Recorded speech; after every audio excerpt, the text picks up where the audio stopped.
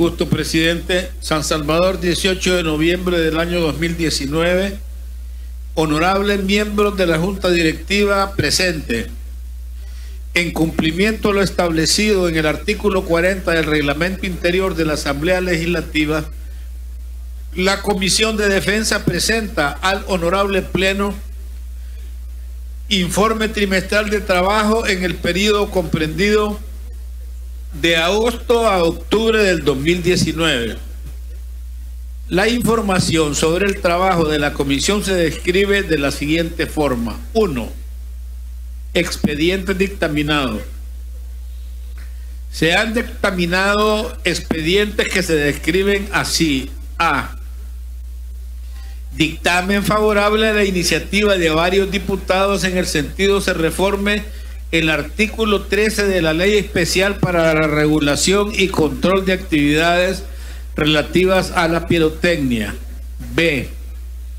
Dictamen parcial a las observaciones del presidente de la República a la Ley Especial para la Regulación y Control de Actividades relativas a la pirotecnia mediante el decreto número 401 de fecha 15 de agosto de 2019. C.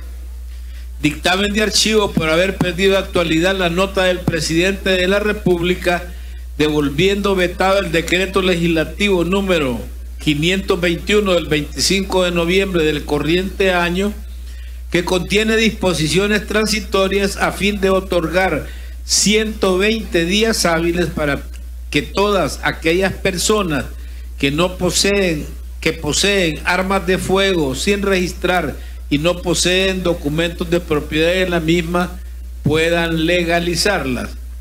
D. Dictamen de archivo por haber resuelto la pretensión al decretar reformas a la ley de control y regulación de armas, municiones, explosivos y artículos similares y ley de la carrera militar. Dos, expedientes en estudio. El trabajo desarrollado por parte de esta comisión ha sido constante y se ha mantenido integrada y trabajando en diferentes mociones, detallando que a la fecha existen un total de 31 expedientes en estudio, entre los cuales se encuentran temas como Ley Orgánica de la Fuerza Armada de El Salvador, Ley de control y regulación de armas de fuego, municiones, explosivos y artículos similares y reformas a la ley de la carrera militar. 3. Trabajo realizado.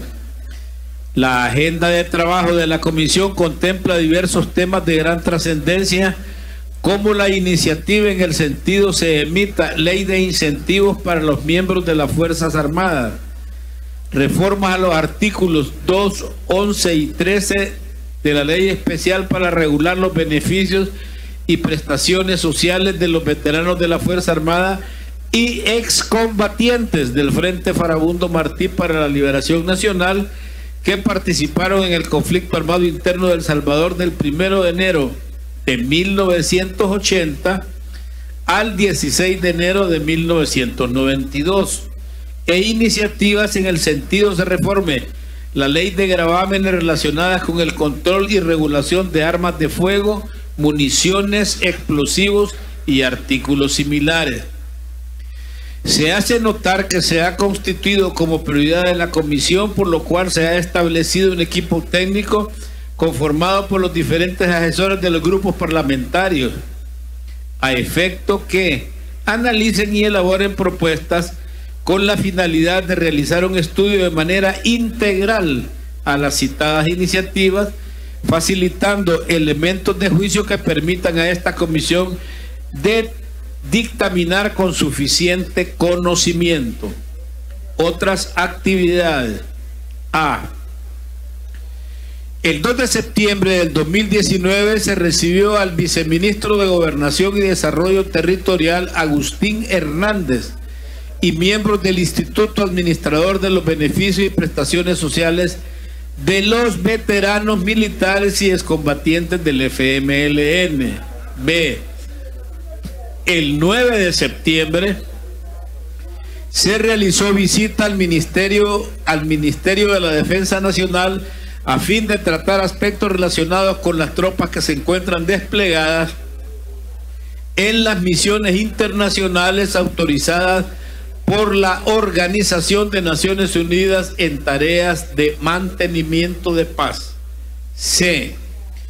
Con base al expediente número 1224-8-2019-1 y a solicitud de diputados del grupo parlamentario del FMLN, en los meses de septiembre y octubre se convocó por tres veces al ministro de Gobernación y Desarrollo Territorial a la Comisión de Defensa para que explique por qué no ha cumplido con lo establecido en la ley especial para regular los beneficios y prestaciones sociales de los veteranos militares de la Fuerza Armada y excombatientes del Frente Farabundo Martí para la Liberación Nacional que participaron en el conflicto armado interno de El Salvador del primero de enero de 1980 al 16 de enero de 1992.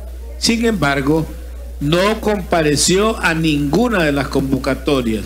Así el informe firmado secretario de la comisión, señor presidente.